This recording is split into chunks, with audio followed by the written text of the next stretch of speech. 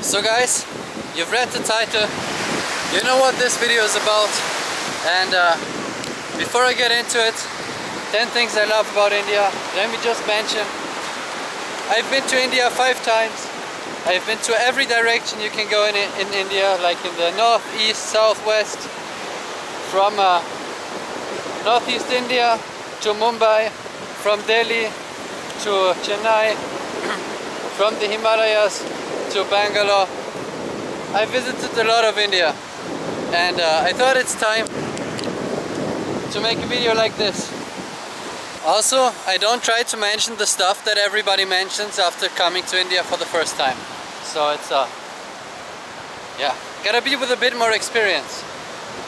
The first thing I love about India are the Indian festivals, the Hindu festivals, and also the Indian weddings, or the day before the wedding.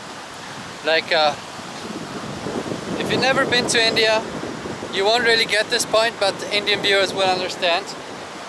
If there's a festival like the Ganesh festival in uh, Maharashtra is in this direction, or a Holi festival, or uh, for example uh, the day before a wedding, then you know Indians can go crazy if there's something to celebrate.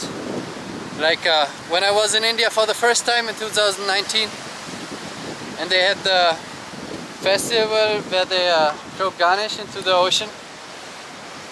It was white, it was so loud, the drums and the fireworks and everything, they get so loud that when I was the first time in India, I actually thought about leaving because I was so scared that my house would break. And it may sound stupid and funny for you guys, but uh, I was seriously scared because uh, when Indians go loud, they go loud. So if you ever come to India, make friends before, plan so that you arrive in the festival season, wedding season, or even in the monsoon, which is even better. And uh, you won't regret it. So uh, let's get to the next point. So uh, the next point is gonna be diversity.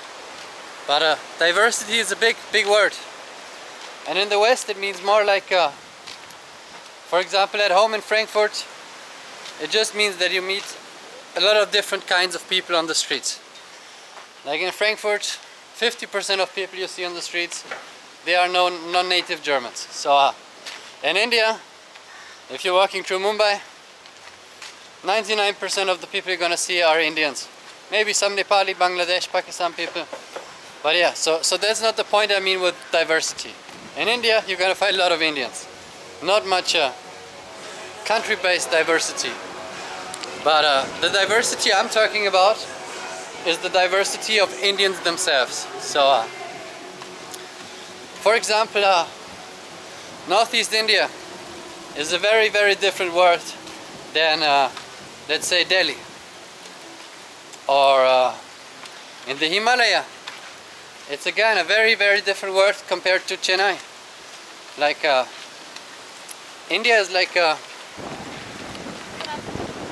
it's like a continent. It's not it's like for us Europeans we have Europe we have a lot of countries and they all have a few differences. But India is like one big Europe itself. It's like a continent and every state is like its own little country. They have their own food, they have their own traditional clothes, they have their own languages, they have their own uh, climate and uh, like here for example, in Goa you see all the palms, you see all the fish, fish thali. It's uh, drastically different if you're uh, in uh, Delhi or Haryana for example. So uh, everywhere you go, you gotta experience different stuff so uh, if you're traveling to India, one journey is not enough. Like as I said, it's my fifth journey, and I don't even I don't know nothing yet about India. So yeah, India's diversity is just great because you don't have to travel different countries, travel around the world. You can just travel India, and you will have something different all the time. And yeah. Hello. Oh yes, coconut, coconut. Okay. So the next point I have for you guys is uh, something you wouldn't probably expect, but it's uh, the feeling of safety or the feeling of security. Like uh, a lot of people have in their mind that India is like a very dangerous place and uh, very dangerous for women and I obviously can't speak for a woman, I'm a, I'm a guy but uh, compared to my hometown Frankfurt I've never felt this safe ever in my life as I felt in India like uh, there are just so many people everywhere and uh, whenever you end up in trouble I've ended up in like trouble where the police had to come two times and uh, I never felt unsafe.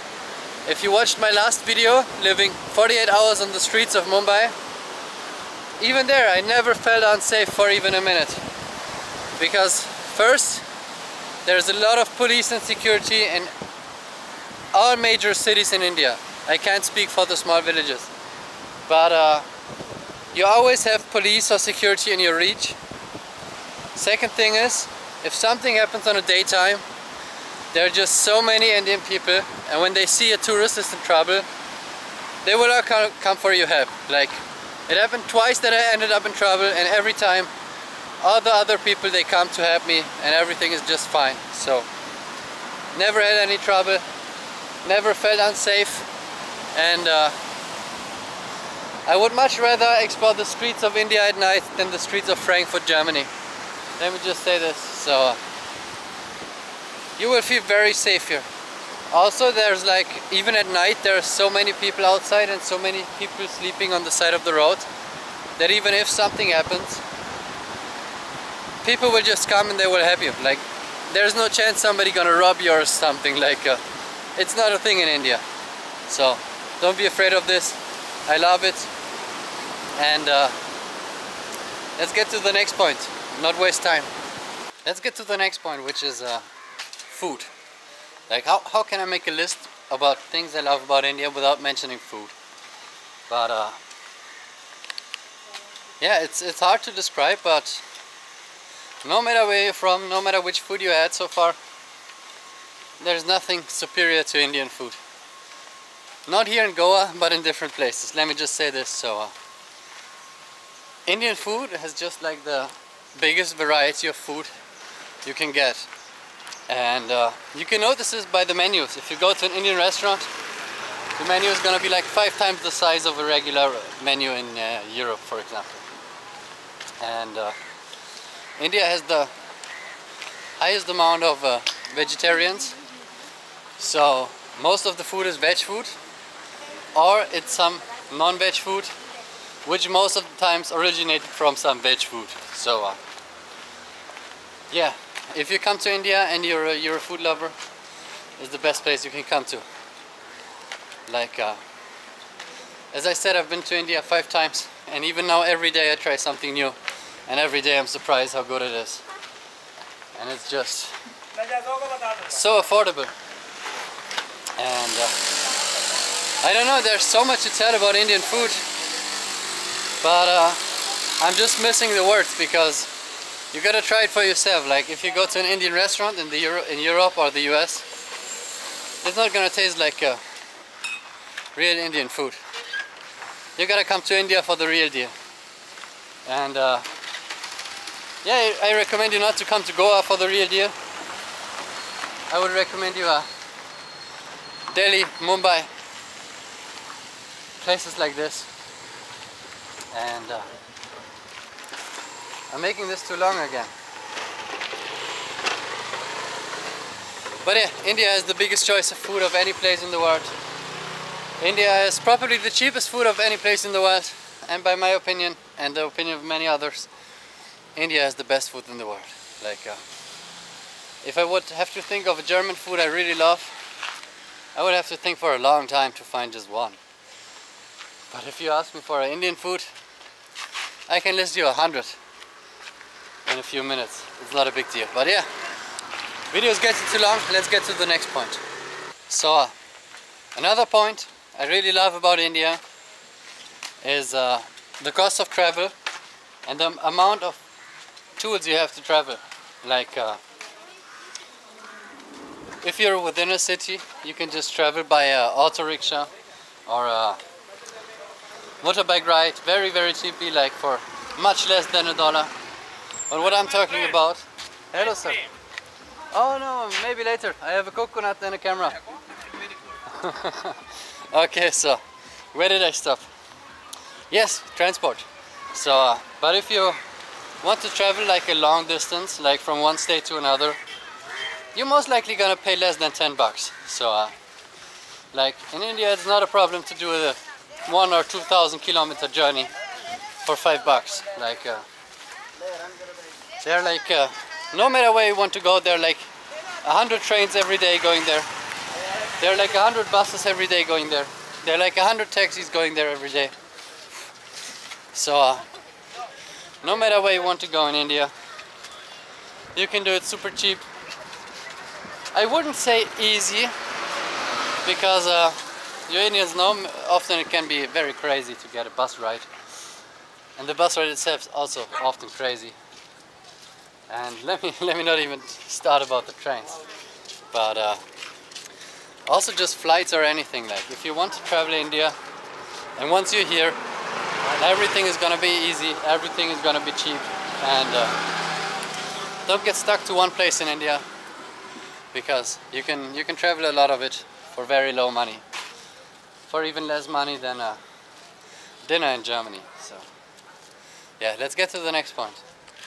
So the next point I have for you guys is uh, let's call it a conveniency. Like uh, how convenient a lot of stuff is in India compared to the rest of the world. Like uh, there will be another video next video 10 things I hate about India and I'm gonna speak, speak about uh, inconvenience. But now it's time to speak about convenience. So in India especially in the big cities there are just so many people and they offer so many services that no matter which trouble you end up in you gotta get help. For example uh, let's say your toilet breaks in Germany it's gotta be a lot of phone calls a lot of money costs it's gonna take at least two weeks and somebody will come at some point and try to fix your toilet. And then gonna tell you there are parts missing, we gotta order them, it's gonna be more expensive and it's gonna take another two weeks. Or let's say your bicycle is broken. In Germany you gotta look up on Google Maps and you find a you have to find a shop where you can repair your bicycle. And it's almost gonna cost the price of a new bicycle. And it's also gonna take a week. But here in India, no matter what breaks, even, even if your house falls into crumbles and into pieces, you just step out your door in the big city, you walk two meters, you say, excuse me sir, my house just fell into pieces, my toilet broke, my bicycle is broken, I need to paint my walls, I have nobody to take care of my kids, and I need some good food. And it's gonna take five minutes, and all of your problems gonna be solved.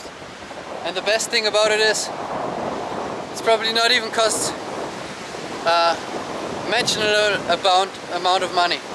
So, in India, all of your tiny problems that become big problems in the West,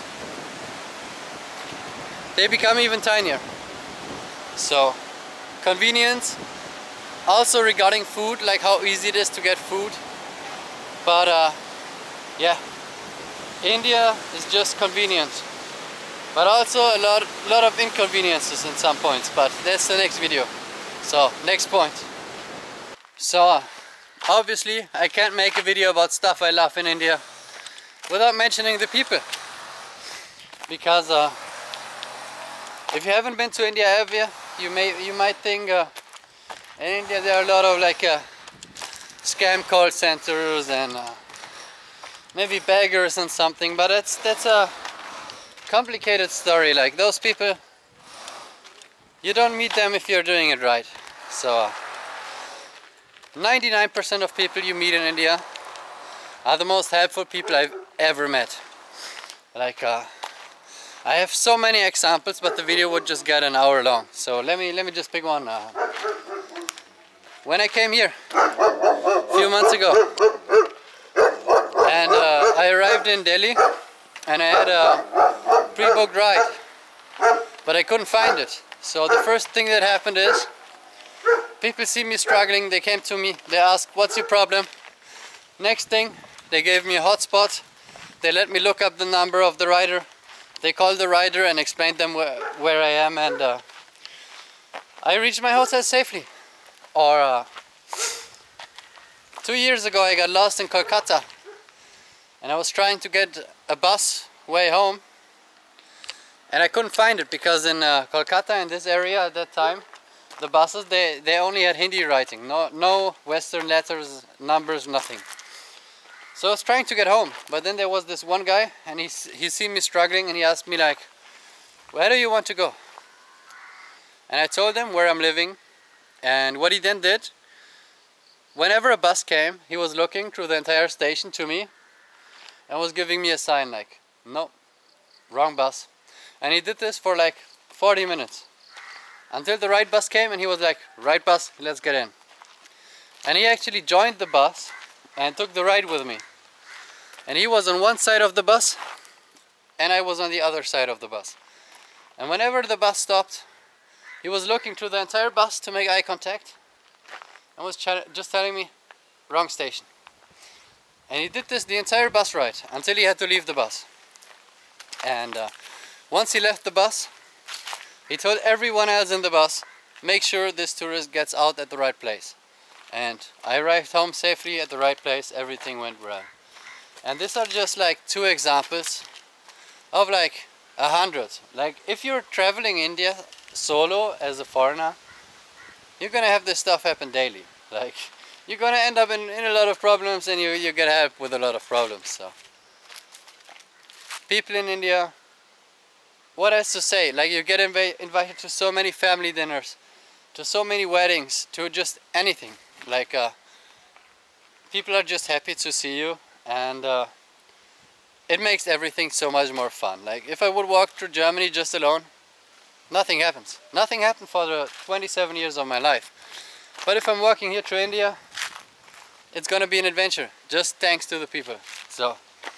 Anyways, I'm, I'm, I'm talking too much again. Let's get to the next point.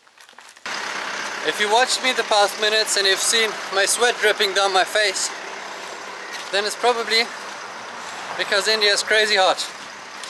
It's uh, currently around 40 degrees, which is absurd for a German, but it's fine for Indians. You could even say it's a spring weather for Indians. But uh, that gets me to the next point, which is the monsoon. The news said the monsoon is gonna start in two days here in Goa, so excited for that. And uh, if you're looking up the monsoon on Google as a tourist, you will often get scared and see pictures of like drowned cities and news anchors standing in water saying how bad the monsoon is. So uh, when I first came to India, the thing that scared me the most was the crazy monsoon rain. But uh, once I arrived, and once I spent my first monsoon in Mumbai, that's when I fell in love with India. And that's when I fell in love with the monsoon. So my biggest tip for you guys is, don't be scared of the monsoon. The monsoon is probably the best thing that can happen to you in India if you're a Western tourist. If, you, if you're an Indian, some Indians I, I talk to, they don't like the monsoon. But uh, most of them tell me, oh, you gotta come back here in monsoon, because monsoon is the best time for just anything. For exploring, for hiking, for enjoying. Like It's not like it's raining 24-7, but there's always rain somewhere 24-7.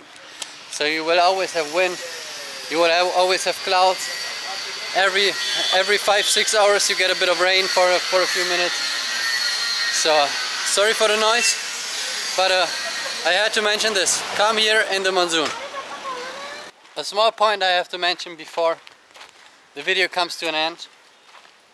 It's uh, the animals of India like in uh, in Europe if you're if you're watching from Europe you know that we don't really have wild animals. We maybe have like some uh, rabbits, some pigeons, squirrels, and uh, yeah, maybe maybe some uh, boars in the forest.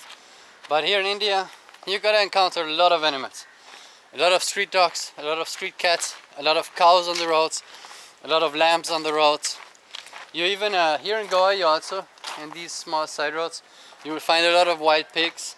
So uh, yeah, also the insects are much bigger here, so you you gotta be confronted. As I, uh, I'm just talking, and there's a butterfly, and he's a small one. There are huge butterflies here in India.